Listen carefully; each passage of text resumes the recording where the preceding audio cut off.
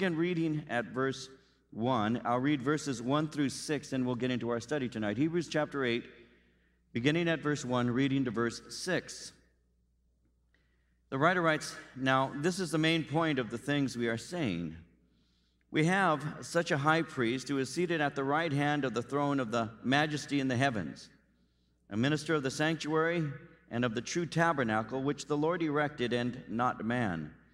For every high priest is appointed to offer both gifts and sacrifices. Therefore, it is necessary that this one also have something to offer. For if he were on earth, he would not be a priest, since there are priests who offer the gifts according to the law who serve the copy and shadow of the heavenly things, as Moses was divinely instructed when he was about to make the tabernacle. For he said, See that you make all things according to the pattern shown you on the mountain. But now he has obtained a more excellent ministry, inasmuch as he is also mediator of a better covenant, which was established on better promises. And so, as we begin, Jesus is continuing in this passage here in the the eighth chapter of the book of Hebrews, Jesus is continuing uh, being presented as having a superior ministry. Uh, Jesus is better, and you see that throughout the, uh, the book of Hebrews. He's better than uh, the prophets, he's better than the angels, he's superior to Moses, he's superior to Aaron. And being superior to Aaron uh, makes him a superior high priest. The ministry that Jesus has uh, is far better than the ministry that you find in the Old Testament uh, because it has a better covenant. It has a superior co- uh, sanctuary and it has an offering that is effective. And so, in the offering up of the Lord Jesus Christ on the cross, that one time for all time offer is better than all of the uh, offerings that had been made under the Old Testament covenant. Now, as we've been looking at uh, Hebrews, when we were in chapter 5, the writer there in chapter 5 had given qualifications for the high priest. And you might remember that. He was taken from among men, he was appointed by God. He's a man, therefore, he understood human weakness. And he also offered up sacrifices for both himself as well as the people. And so the point he's making here is because high priests were human beings, they were not perfect. But he has just made it very clear to us that Jesus is perfect. Now, he had stated that in chapter 7, verses 26 and 27, when he said, For such a high priest was fitting for us, who is holy, harmless, undefiled, separate from sinners, and has become higher than the heavens, who does not need daily, as those high priests, to offer up sacrifices, first for his own sins, and then for the people's. For this he did once for all when he offered up himself. Jesus doesn't have to offer himself up a second time. Jesus came the first time and yielded himself up sacrificially on that cross one time for all time. So he doesn't have to offer many sacrifices because he's already offered up the one, the one sacrifice that is perfect. And so that's the point he's making as we enter into chapter 8 when he says this is the main point of the things that we are saying. We have such a high priest who is seated at the right hand of the throne of the majesty in the heavens. We have a high priest who's perfect, is the point he's making. We have a high priest, and notice with me that Jesus' priesthood is being presented again as being superior because Jesus is serving in a place of honor. Jesus is serving not on the earth in the temple, but Jesus is serving, if you will, in heaven. He is seated, as, it, as we note here in verse 1, he is seated at the right hand of the throne of the majesty in the heavens. Now, when you read in the Old as well as the New Testament, uh, something that refers to being at the right hand, the majority of the time that you read the term right hand is to present to us a position of power and authority. So Jesus is being presented here as being at the right hand of the throne in another way, it's just another way of saying that Jesus is seated in a position of authority and power. You see that throughout the Bible. And in Psalm 16, verse 11, for example, it says, You will show me the path of life. In your presence is fullness of joy. At your right hand are pleasures forevermore. Or Psalm 17, verse 7 Show your marvelous loving kindness, O you who saves by your right hand those who put their trust in you from those who rise up against you. So it's a place of, of protection, it's a place of honor, it's a place of authority. Jesus is there at the right hand. That's what he says in verse 1 when it says he's seated at the right hand. And so Jesus is there in a place of power and authority. Now, he had prophesied as he was on earth that he would be seated at God's right hand, this place of honor. Because he had said in Luke chapter 22, verse 69, Hereafter shall the Son of Man sit on the right hand of the power of God. And so Jesus had made it clear that his place and position was a place of authority at the right hand of his Father. So after his resurrection, Jesus has been seated in that position. The New Testament speaks of that constantly. In Romans 8:34, Paul said, Who is he who condemns? It is Christ who died. Yes, rather, that is risen again, who is even at the right hand of God, who also makes intercession for us. Or in Colossians 3:1, it says, If you are risen with Christ, seek those things that are above, where Christ sits at the right hand of God. Or in 1 Peter 3:22, which says, Jesus has gone into heaven and is on the right hand of God. Angels and authorities and powers are made subject to him. And so his point is that Jesus is superior. He's superior to the high priest. We have such a high priest, he says, who is seated at the right hand of the throne of the majesty in the heavens. Verse 2 A minister of the sanctuary and of the true tabernacle which the Lord erected and not a man. Now, he's writing this to encourage Hebrew believers not to feel that they're being left out. Jesus is ministering in an eternal sanctuary, the true tabernacle in heaven. And so the sanctuary looks at the priest's ministry in the presence of God. The true tabernacle reveals Jesus ministering in the actual dwelling place of God. So there he is, present for us before the throne of God. He says in verse 3 every high priest is appointed to offer both gifts and sacrifices. The function of the high priest is to offer sacrifice. He offers thank offerings and sacrifices for sin on behalf of people. So, offering sacrifice is the essence of being a priest. For Jesus to be a valid priest, he has to have a sacrifice to offer. And that's what he did. In verse 27 of chapter 7, once again, he, he offered up himself. And so Jesus is presented as the one who made that uh, sacrifice and gave that offering. So he says in verse 3 Every high priest is appointed to offer both gifts and sacrifices. Therefore, it is necessary that this one also have something to offer. He offered up himself. Verse 4 For if he were on earth, he would not be a priest, since there are priests who offer the gifts according to the law. Now, from a human standpoint, because Jesus was from the tribe of Judah, he was not qualified as being a high priest because he's not from the lineage of Aaron. Priests at the time of the writing were still making gifts and sacrifices to God. Well, the veil has been torn. Jesus is now in heaven. Even though the destruction of the temple has yet to occur, they still are continuing to give their offerings.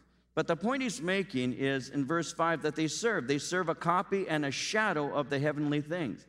As Moses was divinely instructed when he was about to make the tabernacle, he said, See that you make all things according to the pattern shown you on the mountain. Now, I want you to see this for a moment with me. A shadow has no substance in itself, it's just an evidence that something else is real. It's just an evidence that there's something else that is casting this shadow. So, the point he's making is the Old Testament law, the Levitical system, was only a shadow. It was a reflection of the heavenly reality, but was not the reality itself. It was pointing to someone and pointing to something that was better. That's what we're looking at when we look at verse 6, and it speaks of a covenant that is better and promises that are better. It was pointing to something that was better. It's only a reflection of the heavenly reality, but something is coming that is better than that, and that is the fulfillment through Jesus Christ. If you take notes, Colossians chapter 2, verses 16 and 17 says, Do not let anyone judge you by what you eat or drink, or with regard to a religious festival, a new moon celebration, or a Sabbath day. These are a shadow of the things that were to come. In reality, the reality, however, is found in Christ. Don't let anybody judge you based on these things. I find that interesting because even to this day, we have people who will judge you based on shadows and not reality. We still have that to this day. I've had many conversations over the years with people who want to bring us back into and under the law of Moses. That happens quite often. I've had many, many conversations with people who, who have said, you know, um, Calvary Chapel ministry is really not a fully biblical ministry because you don't do things in a fully biblical way. And so you might ask, well, in what way are we failing? And what things are we not doing? And then you'll find people wanting to get you under the law. I remember a lady one time after a Bible study on a Sunday morning who approached me and said to me, This is the first time I've been here in this church. And I said, Well, it's nice to have you as a visitor. And she said, Well, thank you very much. She said, But the Holy Spirit has placed something on my heart that I need to tell you. And I said, Is that right? Now, when somebody tell me the Holy Spirit has said something to them, I find it interesting because, as far as I know, the Holy Spirit can speak to me too. So I find it interesting when somebody comes up and says, You know, the Spirit is telling me something you don't know. And so, but she may know something that I don't know, so let's hear it. So I said, Oh, well, say on. And so she says, uh, The Lord is saying that, that He has blessed you uh, and your fellowship, but wants to bless you more. And I said, Well, I'm always open to that. And she said, Well, the way that that's going to happen is when you begin to meet on Saturdays rather than Sunday. And I smiled at her and I said, Oh, that's not the Lord, that's you. But, you know, you know, because that's not what the scripture has to say.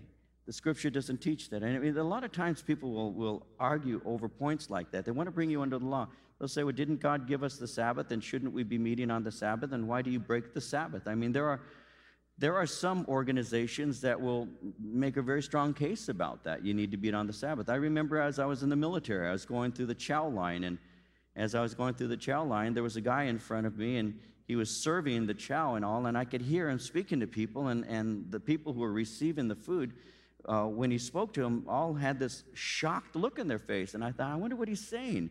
And I was only a few people away, and so I began to listen in, and what he was saying is this he was serving them pork chops. And he would drop the uh, pork chop on their plate, and he'd say, If you eat that, you're going to hell.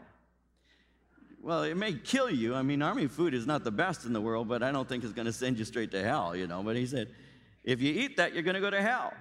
If you eat that, you're going to go to hell. And he kept saying that to every person, and every person would look at him and walk. So he, he dropped it on my plate. He said, If you eat that, you're going to go to hell. So I stood there for a minute and I said, You got to tell me why. Why am I going to go to hell if I eat this pork chop? And he says, Because the Bible says you're not to eat pork. Now, I was a new Christian, you know, and I thought, Well, does the Word of God say that or not? You see, there are people who want to bring you under the law once again, which was a shadow and not the reality. They want to bring you under dietary law, or they want to bring you under ceremonial law, or you have to meet on the Sabbath, you can't eat pork. And so I asked him, I said, uh, Oh, really? Where does it say that? He said, Well, it's in the Bible. And I was a new Christian, so I ate my pork chop, and because uh, I'm a rebellious kind of guy, and I thought, well, if I'm going to go to hell, I might as well have a good meal. So I, I, I, went and ate. And then I went to my room, and I knew there was something wrong with what he was saying, and I began to look into the Bible. Is that true? And I discovered that it's not true. I discovered that Jesus said it's not what goes into the man that defiles a man, but that which comes out of man. This defiles the man. So it's a question of human nature. And I, I discovered also that Paul said it's not meat that commends a man unto God, because neither is a man better if he eats, and neither is he worse if he eats not. And so as I'm reading the scriptures, I'm discovering that, um, that Jesus Christ is the reality and the law was just a, a, shadow. Jesus is the substance. And so Jesus is the only person who was ever able to say, Which of you can convict me of sin? Because he's the only one who never was convictable, if you will, of sin. He, he never did wrong. He fulfilled his Father's uh, commands and everything in a perfect sense. So the law would point to me that my imperfection is going to keep me, and you'll see this in a minute, is going to keep me from being able to be fully satisfiable to God because of my flesh, because of what I do, because of my heart and my intents and the, the variety of things within me. But I discovered that there is one who is able to keep the law perfectly, and that's the point that the writer is making. And that one who was able to keep the law in every, in every point was Jesus himself. And Jesus is the one who was able to do that.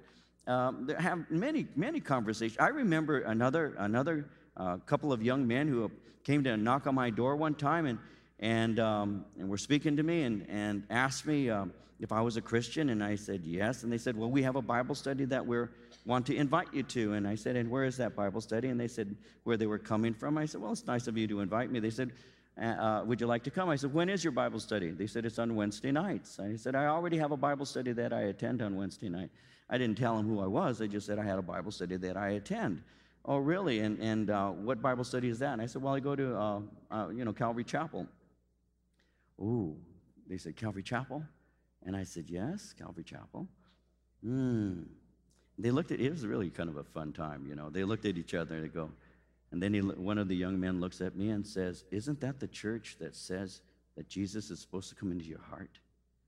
Do you know that the Bible nowhere says that Jesus is supposed to come into your heart? So we had an interesting time. They were just trying to find something to condemn. These are the same kids who were saying, unless you are water baptized, you can't go to heaven. Rules and regulations constantly being placed on people, a misunderstanding of the grace of God, and a misunderstanding of Jesus Christ, who he is, and what he has done on our behalf. And so the point he's making very simply is that Moses and the tabernacle is simply a copy. It's a copy of that which is real. And, and a shadow has no substance because it's only an evidence of something that is real. And therefore, the Levitical system is a reflection of the heavenly reality. And so he says that in verse uh, 5 again See that you make all things according to the pattern shown you on the mountain. But now, verse 6, he has obtained a more excellent ministry inasmuch as he is also mediator of a better covenant which was established on better promises. He mediates a better covenant based on better promises. He has a more excellent ministry, a more excellent ministry than any Levitical priest, because the covenant that he mediates is based on grace and not the law. The covenant that Jesus Christ mediates is one of grace. In Galatians chapter 3, verse 19, Paul asks the question, What then was the purpose of the law? And then he answers it It was added because of transgressions until the seed to whom the promises referred had come. The law was put into effect through angels by a mediator. And so the law was intended to bring, to us, bring us to a place of recognizing our imperfection, our helplessness, our hopelessness, and our need for somebody who could save us. And so Jesus' covenant is better because of what is promised. What is promised is unconditional, it's grace. The law contained conditions that the Jews had to meet. Again, in Galatians chapter 3, verse 10, it says, All who rely on observing the law are under a curse, for it is written, Cursed is everyone who does not continue to do everything written in the book of the law. You have to keep the law perfectly. You cannot keep just a portion of it. And so, if I want to be made right through my observation of the law, I have to keep it in every element. It says in Galatians 3:12 that the law is not based on faith. On the contrary, the man who does these things will live by them. And so these are conditional promises. If you do these things, you shall live. And therefore, if you if you trust in the law, you keep every commandment. And you can't. I wonder how many people in this room ever got to the place that I've been, especially before I got saved. Just before I got saved, I, I, I got to the point where I was crying out and saying to God, I'm not going to make it. I cannot do this. I'm tired of the way that I'm living and I need help. And I would try. I can still remember trying to break some of the habits I had. I actually got tired of the way that I was living. I, I got tired of it. And, and I got tired of hurting people. I got tired of hurting my parents. I got tired of being hurt. I, I can still remember I was in um, up in, up north. I was in uh, just outside of Monterey in a place called Pacific Grove, and I went there for a for a concert. It was a, actually two or three day festival that they used to have, the Monterey Pop Festival. And, and I can still remember as we drove up there, I dropped a magic mushroom and, and I was loaded for two or three days. And I can still remember as I was up there in this particular place that my friends were all going uh, out to the, uh, to the concert. And they said, You want to go? And I said, No, I'm just going to stay here and just, just, just hang around. And so they left. And I can, you know, without making it seem like it was good, I, I do remember just smoking pot and, and reading a book and listening to an album by the Moody Blues. I remember that very well. And after I did that, I was all by myself there, 19, about 19 years old. I remember just thinking, I can't take this anymore. I can't take this anymore. I'm 19 years old. My life's going nowhere. Because you see, what had happened is I was walking through this festival and some people walked past me. I always will remember these people because it was a guy, a girl, and a, and a baby about three years old, a young a toddler about three. They were all wearing clothing that the, the young lady had obviously fashioned out of sheets. He had a shirt and pants that were obviously made out of white sheets, She had a dress that she'd made out of sheets, and uh, the child had long, stringy blonde hair and had a, a kind of like a, um, it looked like a gown of some sort. That I don't know if it's a little girl a little boy because they wore that at that time. Both girls and boys would wear clothes like that. They walked past me, and I was loaded on, on uh, psilocybin. And I remember when they walked past me, looking at them, and it hit me that's going to be you someday. You're going to be with somebody, you're going to have a little kid, you're going to, you have no future. That's the route you're taking. And it was, it was one of those moments where I thought, I better do something about myself because I'm going down the tubes fast. I remember that. And so they wanted to go back that night, and I said, No, I'm going to stay here. And I was reading a book, listening to some music, smoking some pot, and I started to think. About 19 years old, and I started to think, Is that what I want for my life? Is that where I want to end up? Do I want to have that? You know, making clothes out of sheets. So I started saying to my friends, I'm not going to get loaded, man. I've had it. I'm putting down. We used to call it putting down. I'm putting it down. And so I did for about two days. And then two days later, I'm smoking pot again. Because no matter how deeply I wanted to stop, I had no power to. I wanted to. I wanted to. I saw where I was going, but I just couldn't do it. I just didn't have the power in me to do it. And instead of getting better, I got worse. I weighed 175, 108, no, 183 pounds at that time. And within about um, 25 days, I went down to 143 pounds. I just stopped eating. And I just was drinking and smoking pot and dropping drugs. And that's all I was doing. And I was just losing weight and I was losing everything as I got into that place. I got to the point where I was saying, God, if there is a God, you have got to help me. My problem was trying to help myself. My problem was I had a mentality that God only helps those who help themselves.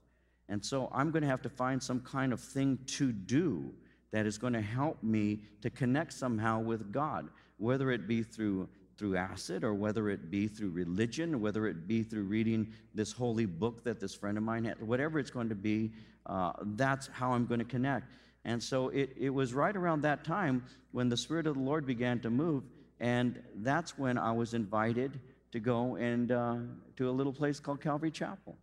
And that's when I went and sat amongst these people and started thinking, they have something I don't have. It was right around that time. All of those things were being woven together by the Lord. And, and so all of this that he's saying here is very technical, but it's very practical. It's very simply this Jesus is better.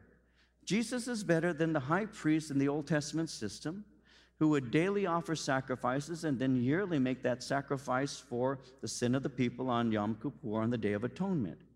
Jesus is better, though he was not from the Levitical tribe and the lineage of Aaron, he's better because he's after the order of Melchizedek who predates him. And being from the order of Melchizedek, he is a, a priest that ministers forever.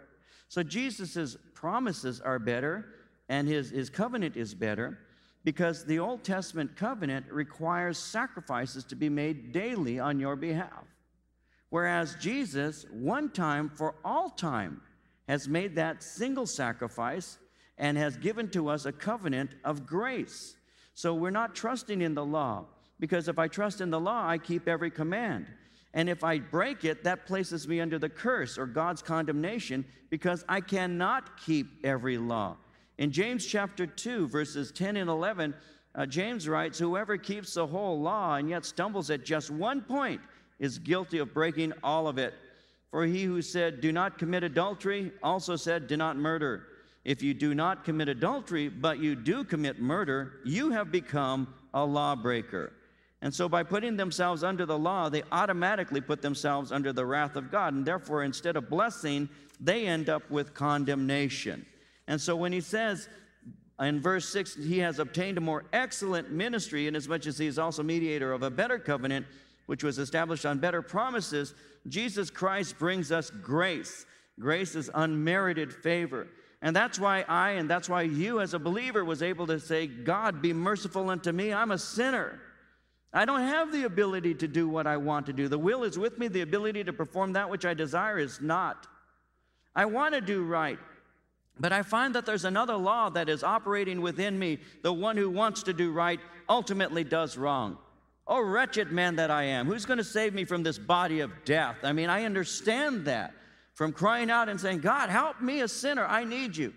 And then he says, I have already done so in that I've given to you Jesus Christ. And so the covenant of grace is better. And that's because God not only gives to us his word, which declares to us what is pleasing to him, he also gives us his Holy Spirit, who enables us to keep his commands. Ezekiel again in chapter 36, verse 27, God's promise I will put my spirit within you, cause you to walk in my statutes. You will keep my judgments and do them. I will put my spirit within you, and I will write my law, my statutes upon the tablet of your heart.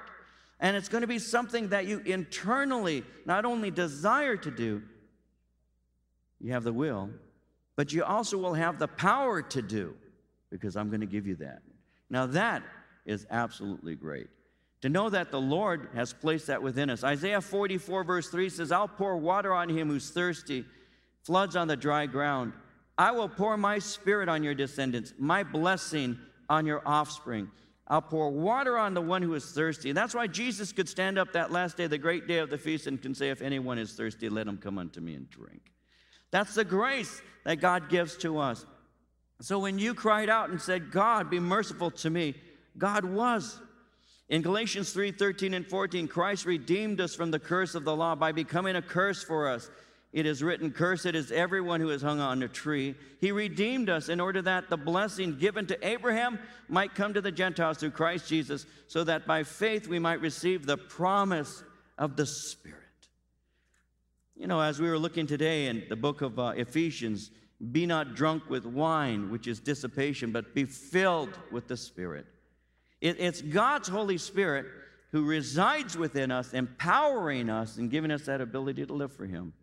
That's why every morning when I wake up, I, I, I say, God, renew me today. Renew me in your spirit. I, I need to walk in the power of your spirit because if I don't have your spirit within me, my flesh is just at the door, just waiting to take control of my life. You know, I have this war within, Lord, and if, if you don't fill me today with your Holy Spirit, if you don't continue saturating me with your Spirit, uh, the draw of the, of the world is so incredible. It is so easy to be sucked into its vortex and to wake up one day wondering, how in the world did I get here? What led me to this? And so he has a better covenant. He has better promises because they're built on grace. Now he says in verse 7 if that first covenant had been faultless, then no place would have been sought for a second. Because finding fault with them, he says, Behold, the days are coming, says the Lord, when I will make a new covenant with the house of Israel and with the house of Judah, not according to the covenant I made with their fathers in the day when I took them by the hand to lead them out of the land of Egypt, because they didn't continue in my covenant, and I disregarded them, says the Lord. So he's pointing to the fact that God is stating to them listen, if you read your Bibles, you're going to discover that God made a promise. A new covenant was promised to you. That's found in the book of Jeremiah, chapter 31. If you read your Old Testament, you would see that God has made a statement that he was going to make a covenant or an agreement with you. So, if you read your Bible, you're going to discover God's promises and plans for you. On one occasion, Jesus was speaking to some people who were uh, debating him. And uh, as he was speaking to them, he said, You search the scriptures, for in them you think you have eternal life. And these are those which speak of me. You search the scriptures. The, the word search there in the original language, you ransack the scriptures. Because in them you think you have eternal life. But the problem is, is as you go through Scripture, you fail to see that Scripture is revealing me to you. You know, and so Jesus is the spirit of prophecy. When you read the Old Testament, you're seeing a picture that is being presented to you of the one who is to come. And so when he's here speaking and says, if the first covenant had been faultless, then no place would have been sought for a second, uh, because finding fault with them, he says, Behold, the days are coming, saith the Lord, when I will make a new covenant. It's in the Word of God. And all you needed to do is read Jeremiah, and you would have discovered it that God has made a promise to you. God said, I'm going to establish a covenant. And this is what he does. Now, God announced his intention to give them a new covenant in, in Jeremiah chapter 31. And the covenant that he's going to give is going to be with the house of Israel and Judah. And what he was promising there is that Israel would be a restored nation and have a new relationship to God. You see, the nation of Israel had been taken and had been, uh, the, the 10 northern tribes had been taken in, uh, by the Assyrians. And as the Assyrians had taken the 10 northern tribes, they had divided the 10 northern tribes from the two southern tribes. So God was making a promise through Jeremiah that they would be reunited and that God would do a work through them. And so, as he has spoken that, to remind them that God isn't through with the nation of Israel, he had made various promises to them. If you take notes, I'll give you four things, and this is really basic. I, I was going to, I was going to take you to Jeremiah, and so I will. I think I better. Let's turn our Bibles to Jeremiah. You say, Where is Jeremiah? He's with the Lord, but his book is in the Old Testament. Jeremiah chapter 31. I'll show you this really rapidly. I was I was just going to give you four things from it. But I think I, I want to show you these things. Because these are promises. What he's doing here in Hebrews is he's relating to a covenant that God is making. As you turn to Jeremiah 31, let me read to you further on, because he continues on in Hebrews 8, and he says, This is the covenant that I will make with the house of Israel after those days, saith the Lord. I will put my laws in their mind, write them on their hearts. I will be their God, they shall be my people. None of them shall teach his neighbor, none and none his brother, saying, Know the Lord, for all shall know me, from the least of them to the greatest of them. For I will be merciful to their unrighteousness and their sins and their lawless deeds. I will remember no more. In that he says a new covenant, he, uh, in that he says a new covenant, he has made the first obsolete. Now, what is becoming obsolete and growing old is ready to vanish away. So he's actually quoting out of Jeremiah. In Jeremiah, there are actually several more than I'm going to give you right now, but there are several uh, facets of the promise. Uh, one, if you were to look at Jeremiah 31, verses 1 through 3, you would see the context, and, and these promises that are being made will be accomplished when they are regathered in the nation of Israel. It says, At the same time, says the Lord, I will be the God of all the families of Israel. They shall be my people. Thus says the Lord, the people who survived the sword found grace in the wilderness, Israel, when I went to give him rest. The Lord has appeared of old to me, saying, Yes, I have loved you with an everlasting love. Therefore, with loving kindness, I have drawn you. And so, this is talking about a regathering of the nation of Israel. A second thing is we know that this promise's total fulfillment will occur after the tribulation. How do we know that? Well, notice Jeremiah 31, verse 7. Thus says the Lord Sing with gladness for Jacob, shout among the chief of the nations, uh, proclaim, give praise, and say, O Lord, save your people, the remnant of Israel. So we know that this takes place after the seven year period called the tribulation. A third thing that he's speaking about is found in verse 16 all enemies shall be destroyed. Because in verse 16, the scripture says, Refrain your voice from weeping, your eyes from tears. Your work shall be rewarded, saith the Lord. They shall come back from the land of the enemy. And that gives to us the knowledge that their, their enemies are destroyed and they're being returned. And finally, in verses 17 and 18, the homeland is rebuilt. There is hope in your future, saith the Lord, that your children shall come back to their own border. I have surely heard Ephraim bemoaning himself. You have chastised me, and I was chastised like an untrained bull. Restore me, and I will return, for you are the Lord my God. Just yesterday, we were speaking about how the Lord is already beginning that work in our day. I was speaking to somebody just yesterday about how that uh, when Marie and I have been in Israel, how we have encountered people from all over the world. And sometimes we Americans, if you want to turn on back to Hebrews uh, chapter 8, sometimes we Americans, and I think that you are more sophisticated than the generation I come from, um, You know, the, you younger ones are more sophisticated than, than, my, than, than I was because I had in my mind, if you were to say to me um, the word Jewish, I had a stereotype as I was growing up. I, I didn't know what a Jewish person looked like because I really didn't know if I knew any people who were Jewish. And so all I had were stereotypes that were handed to us as we were growing up. And, and so I, I didn't have a clue. What does a Jewish person look like? And so um, because I didn't know any to my knowledge. You know, I may have known one or two in my whole lifetime, and I never really noticed that until we went to Israel. And there we are on a bus, and as we're on the bus, the bus driver begins to speak and sees Marie and speaks to her in Spanish. And so I discovered this man here is a Spanish Jew. And then my guide, it turns out my guide is from Argentina. His wife is from Brazil. Then we begin to meet other people from all over the world, from Ethiopia and from Russia.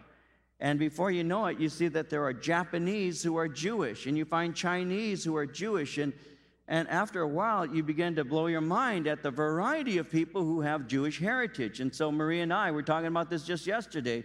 How we were in uh, Megiddo, and we went into a, one of the shops there. And as we were there in the shop, there was a shopkeeper, somebody standing behind the counter there and Marie and I walk up to him and, and we begin to speak to him, and, and he has a Spanish accent. So, so I ask him, Where are you from? And he says, I'm from Mexico City. I said, Mexico City? He goes, Yes, I'm a Mexican Jew. I have met Jews from all over the world. And so sometimes you might be thinking stereotypically. You might be thinking that a Jewish person looks in a certain way, and they don't, because a Jewish person comes from all over the world, a variety of places, and all of that. And, and we're seeing that take place in our day. I mean, if you just for a moment realize that God's promises are true, I mean, there, is, there are no other people of the, the, the, ancient people that you read in Scripture, you know, the, the various peoples, that the Jebusites and the Philistines and all of that, they have ceased to exist. But the Jewish people continue to this day to exist. They're God's miracle people. And it's absolutely true as you see that and, and, and you visit with them and get to know them and all of that. And so God said, Look, I've got a work that I'm going to do. Now, you need to remember that during the 1800s and prior to that, prior to the uh, 1900s into the 20th century, 21st century, but prior to the 1900s, the 20th century, the uh, older commentators, when they would write concerning the nation of Israel, had what is called a replacement theology, a mentality that the church has replaced the promises God gave to Israel.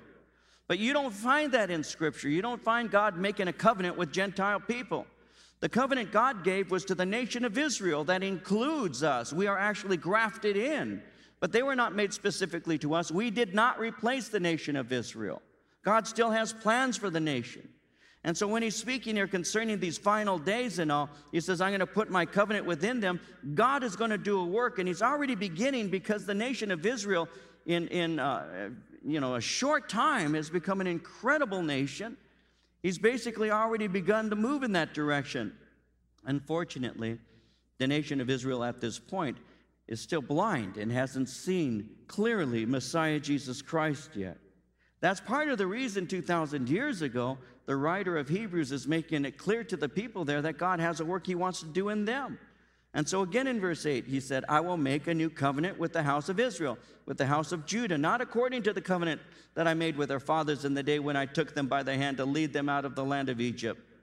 Because they didn't continue in my covenant and I disregarded them. They did not hold fast to the law of Moses, is the point he's making, because when he led them out of Egypt, that's when Moses gave them the law.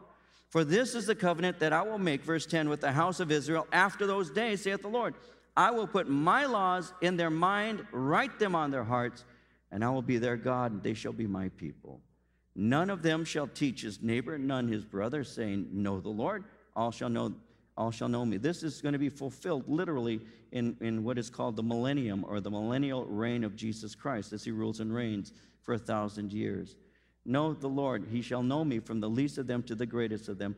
For I will be merciful to their unrighteousness and their sins and their lawless deeds. I will remember no more. I like that phrase. Their lawless deeds, I will remember no more. Um, my kids can tell you this is true. When they, even to this day, when they have done something that needs a father to deal with, and I can't find some other father and I have to do it. I'm one of these dads, and I don't know if you'd like me, that if you tell me the truth, I'll deal with you very swiftly and I think fairly, lovingly. But if you don't admit it, I won't let you go until you do. My daughter, Anna, has never received a spanking from me in her life. She says that I spanked her. She's lying. I never have. I lecture her. And she has told me many times I would prefer a spanking over a lecture. I will keep her for two hours. You know, Dad, I'm tired. I'll say, So am I, but we're not through yet because you've got some things we've got to talk about. And that's how it's always been. If they admit that what they've done is wrong, I will tell them this. This is the truth. I will tell them this. I will say, It's done, it's over, and it's not getting brought up again. It's over. And that's the way it is. It's done. I'm not one of these guys that says, I remember when you did this six months ago and I haven't forgotten. I may remember, I just don't bring it up. Because as far as I'm concerned, they apologized, it's under the blood, let's move on. Now, if I, being an evil father, am like that, which I am, how much more is my heavenly Father like that towards me? God doesn't remind me of my sins, He doesn't bring them up. His sins I will remember no more. It's not that God doesn't have the capacity to remember, it's that God doesn't bring them up because they are in the deepest portion of the sea, and we like to call it the sea of forgetfulness. It's gone. And for me, when he says to me, their sins, he said, and their lawless deeds I will remember no more, that's because they are covered by the blood of Jesus Christ. And those sins are now washed and cleansed, and we're purified. And that's how it takes place. God puts His law on the tablets of our hearts. He washes us with His blood, and we are completely forever forgiven by Him. And by His grace, He doesn't recall them to us. He doesn't bring it up and say, Do you remember? And could you imagine how precise He is and could be with you? He could tell you every single thing you've done from the moment that you were able to conceive of sin, but He doesn't. To me, that is an incredible reality. That is the blessedness of the new covenant forgiveness of sin through the mercy of God. That's why Paul could say, because of his great love for us, God, who is rich in mercy, made us alive with Christ, even when we were dead in transgressions, because it is by grace that you have been saved. And so in verse 13, in that he says, a new covenant, he has made the first obsolete. Now, what is becoming obsolete and growing old is ready to vanish away. Because we are saved by grace and kept by grace, we walk in grace and serve in grace. It's all of grace. The Lord Jesus Christ, who has fulfilled all of the righteous requirements of the law, gives to us the ability to perform that which his Father has commanded and gives us the grace when we have failed to do all that we desire to do. He has given to us a better covenant and better promises.